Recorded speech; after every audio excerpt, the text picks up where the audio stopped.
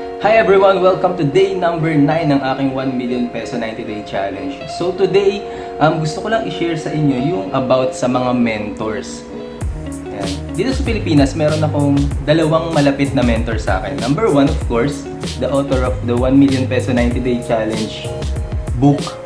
This guy, Benny Flores. So, na-meet ko tong um, si Coach Benny 2017 because of this book. Yan, na-intrigue ako sa book na to and binili ko siya. And then, nag-launch siya ng YouLearn, YouLearn community noong October 2017 and I joined him.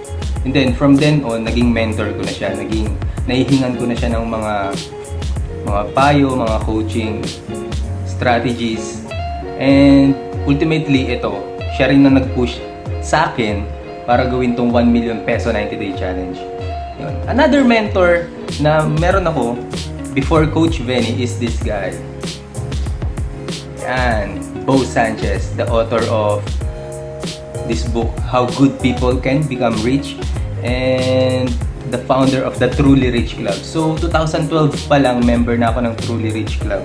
And malaki rin ang sobrang laki rin ang naitulong sa akin itong tao na to, Bo Sanchez, in my spiritual journey and my financial journey. Siya yung nagturo sa akin kung paano mag-invest in the stock market and kung paano um, mag-get out of comfort zone sa pagtayo ng mga businesses and sa mga gusto kong gawin. So, yun. So, these two helped me push pushed me and um, helped me get of, get out of my comfort comfort zone no So, yun yung pinakamalaking malaking natutulong sa'yo ng mga mentors. Um, sa iba pwedeng ang mga mentor nila, magulang nila, or mga boss nila sa kanilang trabaho. Ako, marami akong mentor bukod dito kay Brother Bo and kay Coach Benny Flores. May mga online marketing mentors pa ako abroad. Pero syempre, hindi lahat sila nakikita ko um, personally.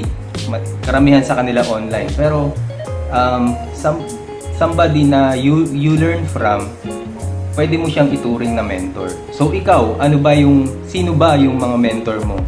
Kanino ka natututo? Sino yung mga taong nagpupush sa'yo para mag-get out of comfort zone ka and mag-strive ka for success?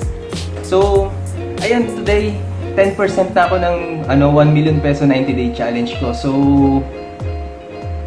unti-unting nagiging totoo na to. So, yun. Um, that's all for today.